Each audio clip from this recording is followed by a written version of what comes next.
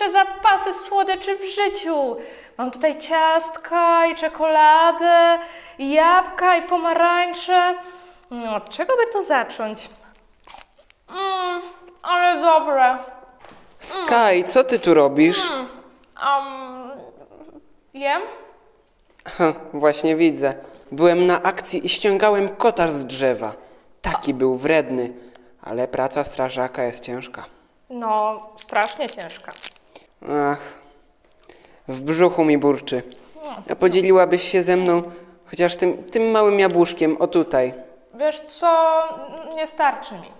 Ale przecież masz tego całą masę. Oj, Marszal, kupiłam to za własne pieniądze. Zawsze musisz mi wszystko zabierać. No wiem, przepraszam, ale oddam ci jak tylko dostanę kieszonkowe.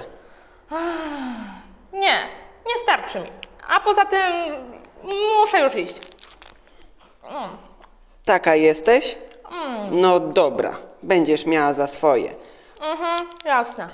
Proszę księdza, bo, bo, bo ja jestem strasznie głodny. Wróciłem z akcji i poprosiłem Sky, żeby dała mi tylko jedno jabłuszko i ja jej je oddam, a ona nie chce. Słuchajcie, dzieciaki. Myślę, że po raz kolejny musimy ze sobą poważnie porozmawiać. Sky i Marshall. Widzę, że nie potraficie się ostatnimi czasy ze sobą dogadywać. O co dzisiaj poszło? Sky, zacznij ty. Odłożyłam sobie bardzo, bardzo dużo pieniędzy, żeby kupić moje ulubione smakołyki. A I? Marszal wpadł i oczywiście wymaga ode mnie, żebym mu wszystko oddała. Ja wcale nie wymagam. Dobrze, Marshall, powiedz teraz ty. Co Ja- się stało? Ja wcale nie wymagam, żeby mi wszystko oddała. Ja tylko proszę o to jedno jabłuszko, bo jestem strasznie głodny. Ja Wróciłem byłam- z akcji. Dobra, dobra, słuchajcie. Drogie dzieci, musimy sobie coś w takim razie wyjaśnić. Jesteśmy w czasie Wielkiego Postu. Pamiętacie, ile dni trwa Wielki Post? Czterna, 40. Tak, 40. I mówiliśmy już o tym, że w Wielkim Poście mamy bardzo ważną sprawę, jak, taką jak rozmowa z Panem Bogiem. Czyli co to jest? Modlitwa. Mhm. A oprócz modlitwy o czym jeszcze mówiliśmy? O poście. Okej, o tym, że czasami z czegoś można zrezygnować, po to, żeby się potem z tym też i może z kimś podzielić innym. I właśnie o tym dzieleniu się dzisiaj chyba musimy porozmawiać, bo jest trzecie słowo Wielkiego Postu. Pamiętacie jakie? Ja... Ja, ja, Jałmużna. jasne. Jałmużna. Jałmużna, czyli najkrócej można by było powiedzieć, jest to dzielenie się z drugim człowiekiem tym, co ja sam posiadam. Sky, powiedz mi, czy ty lubisz, jak ktoś się z tobą czymś dzieli? No pewnie, zawsze biorę wszystkie kości od Marszala. Mhm. Marszal, a czy ty lubisz, jak ktoś się z tobą nie dzieli? No nie lubię. Szczególnie kiedy jestem taki głodny. Czyli ogólnie dzielenie się ze sobą jest złe czy dobre? Jak myślicie? A Dobre. Zależy kiedy? Dobra, to posłuchajcie. Pewnej przypowieści, a to w sumie nawet nie jest przypowieść, tylko sytuacja prawdziwa, kiedy do Pana Jezusa przyszedł pewien bogaty młodzieniec, spytał się Pana Jezusa, Panie Jezu, powiedz mi, co ja mam zrobić, żeby wejść do nieba? I wiecie, co Pan Jezus mu powiedział? No co? Nie wiecie, no bo skąd macie wiedzieć? Ale ja wam powiem. Pan Jezus powiedział mu, że ma przestrzegać przykazań, że ma kochać swoich rodziców, że ma się modlić, że ma być dobrym człowiekiem. I on wtedy powiedział: Panie Jezu, ale ja to wszystko robię, odkąd jestem dzieckiem. To wtedy Pan Jezus powiedział bardzo ważną rzecz. Mhm. Dobrze, ale brakuje ci jednej rzeczy. Jeżeli chcesz wejść do nieba, to idź, sprzedaj wszystko, co masz i chodź za mną. Naprawdę? I zrobił tak? No niestety ten młody chłopiec, młody chłopak, kiedy usłyszał te słowa, odszedł smutny od Pana Jezusa, bo miał bardzo dużo bogactwa i to bogactwo było dla niego, no właśnie, jak myślicie, było dla niego ważniejsze od nieba czy nie? Mm, chyba tak. No tak, nie potrafił z tego zrezygnować. A Pan Bóg daje nam na ziemi bardzo wiele rzeczy. To, że mamy jedzenie, że mamy dach nad głową, to, że mamy rodziców, że mamy z kim porozmawiać, że mamy się w co ubrać, że mamy gdzie mieszkać, że możemy chodzić do szkoły, do pracy. To są wszystko dary Pana Boga. I my tych darów możemy używać albo dobrze, albo, Źle. albo źle. Jak używać takich darów dobrze? No to jest inna przypowieść z Ewangelii. Kiedyś Pan Jezus opowiadał taką historię, czyli przypowieść, jak Wam powiedziałem, o człowieku, który pracował na roli, czyli pracował w polu, tam orał ziemię i w pewnym momencie odkrył, że w tej ziemi jest jakaś skrzynia.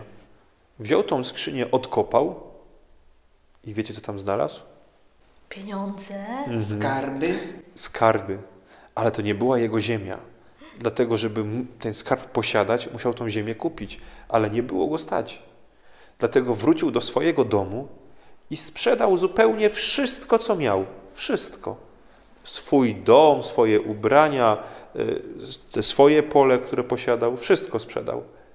Poszedł i kupił to pole, w którym ukryty był ten skarb. Kiedy to pole było już jego własnością, Także i jego własnością był ten. Ten skarb. W tej przypowieści Pan Jezus chce nas nauczyć tego, że tak naprawdę tym ukrytym skarbem jest co? Jak myślicie? Pokazuję palcem, podpowiadam. Sufit. Nie, Pan Bóg? jasne, Pan Bóg, niebo. Tym prawdziwym skarbem jest Pan Bóg. I człowiek, który chce się spotkać z Panem Bogiem, powinien umieć zrezygnować z tego wszystkiego, co jest tutaj może na ziemi, nieraz umieć się tym podzielić, poświęcić to, po to, żeby spotkać się z Panem Bogiem. Tak jak właśnie ten człowiek, który wykupił całą tą rolę, w której odkrył ten skarb. Już rozumiem. Przepraszam, marszał. I to właśnie, drogie dzieci, jest cel jałmużny, czyli dzielenia się z drugim człowiekiem tym, co sam posiadam. Dzielić się możemy wieloma rzeczami. Jedzeniem, pieniędzmi, możemy dzielić się także swoim czasem z drugim człowiekiem, że zamiast grać na czymś, na telefonie, na komputerze, to ja pójdę i komuś pomogę. Pomysłów na dzielenie się jest bardzo wiele, ale do tego dzielenia zachęcał nas zawsze Pan Jezus, który mówił, że wszystko, co uczyniliśmy drugiemu człowiekowi, to tak, jakbyśmy uczynili samemu Panu Bogu. I kiedy mówił o już końcu świata, o tym, kiedy będzie zapraszał, otwierał niebo dla tych, którzy byli dobrzy, to mówił: chodźcie do nieba, bo daliście mi jeść, jak byłem głodny, bo daliście mi pić, jak byłem spragniony, bo mnie ubraliście i tak dalej. Dlatego w tym czasie Wielkiego Postu warto może spróbować podzielić się ze swoim rodzeństwem, z tymi, którzy może potrzebują czegoś bardziej od nas, tym, co sami mamy. Może to być właśnie czas, może to być jedzenie, może to być wspólna zabawa, ale tak, żeby umieć się z kimś podzielić. Dlatego muszę Ci powiedzieć dzisiaj, Sky, no trochę nieładnie się zachowałaś wobec marszala, że nie podzieliłaś się z tym jedzeniem, ale wiem, że następnym razem się poprawisz i chyba tego żałujesz, no nie? Żałuję. Już Marszal, rozumiesz. A chcesz jeszcze ciastko? A wiesz, z chęcią. No Dziękuję. dobra. Super, się cieszę, że się dogadujecie, naprawdę. Bo o to w tym wszystkim chodzi, żebyśmy się dogadywali i razem, dzieląc się ze sobą, byli coraz to bardziej szczęśliwi. I pamiętajcie, że jak będziecie tylko dla siebie gromadzić to wszystko, to jedzenie, ubrania, pieniądze, to tak naprawdę nigdy nie będziecie szczęśliwi. W drugiej części odcinka dzieci z naszej oazy pokażą nam wszystkim, w jaki sposób my możemy spróbować wypełniać postanowienie jałmużny w Wielkim Poście. Ale to już druga część. Zapraszamy Sky i Marszal? Zapraszamy. Zapraszamy. Dowiedzieliśmy się dzisiaj, co to jest post i modlitwa. Jestem ciekawa, czy pamiętacie dzieci, co to jest modlitwa. Modlitwa to rozmowa z Panem Bogiem. Dobrze. A pamiętacie, co to jest post? Post to zrezygnowanie z czegoś. Super. Dzisiaj Skar i Marszal razem z księdzem Pawłem powiedzieli nam, co to jest jałmużna. Jak można, to tyle się z kimś. Dobrze. Masz rację, Madzia, dlatego chcemy Wam dzisiaj pokazać, jak można zrealizować zadanie jałmużny. Będziemy potrzebowali na przykład stary słoik, karton, różne bibułki, patyczki, flamastry oraz klej. Do dzieła!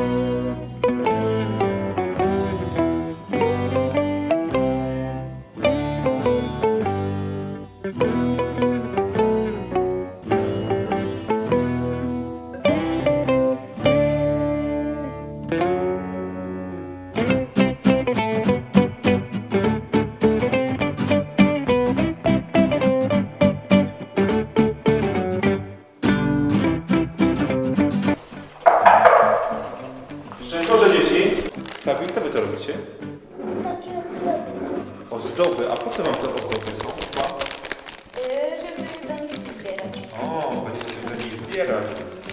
Zapewne, zapewne słyszeliśmy już o tym, co mówił dzisiaj skrajny marszał. Czyli o jałmużnie. Pamiętacie, jesteśmy teraz w takim czasie, który nazywa się Wielki Post. Kto z Was pamięta, ile trwa Wielki Post? No? 40 dni. No i w tym Wielkim Poście możemy robić różne rzeczy. Możemy się modlić, możemy pościć, czyli z czegoś rezygnować, ale możemy też z innymi ludźmi się czymś dzielić. Możemy coś oszczędzać, bo o to przede wszystkim wchodzi w dzieleniu się. E, Powiedzcie mi, to co w takim razie do takich waszych ozdobnych pudełek, słoików możemy zbierać? Jak myślicie, Kuba? Yy, pieniądze. Na przykład pieniążki, jasne. Madzia, a ty co byś pozbierała do niego? Nakrętki. Nakrętki. O, jakieś tutaj nakrętki widziałem. Gdzieś tu miałem te nakrętki. Gdzie są nakrętki? Nakrętki lecą do mnie. O właśnie. Na przykład takie. Okej. A ty Ksawi mówiłeś, że co byś zbierał do tych pudełek? Baterie. O, baterie też mam. Madia by prawie dostała, nie? Na przykład taką baterię. Już mamy. Andrzej, a ty co byś zbierał do tego? Cukierki. Cukierki. I kiedy byś je zjadł dopiero? Powiedzmy. No, znaczy po Wielkim Poście, czyli zaraz jak będzie Wielkanoc, jak Pani zmartwychwstanie. No też to jest dobre postanowienie, ale obstawiam, Andrzej, że Ty byś się z kimś podzielił tymi cukierkami. Podzieliłbyś się? Z kim na przykład? Ha, widzę, że patrzysz na siostrę, czyli pewno z Emilką, ale myślę, że z Wojtusiem, bratem młodszym też, no nie? Jasne. Słuchajcie, bo właśnie o to chodzi w Wielkim Poście i w Jałmużnie, żebyśmy potrafili się dzielić. Dzielić ze wszystkimi innymi. Słuchajcie, to co, zachęcimy inne dzieci, żeby też takie słoiki i ozdoby jakby zrobiły, czy nie? Tak. Dobra, no to mówimy na 3-4 zachęcamy, a potem pozdrawiamy, dobra? No to 3-4 Zachęcamy! i pozdrawiamy. No i oczywiście machamy do Was wszystkich. Pa!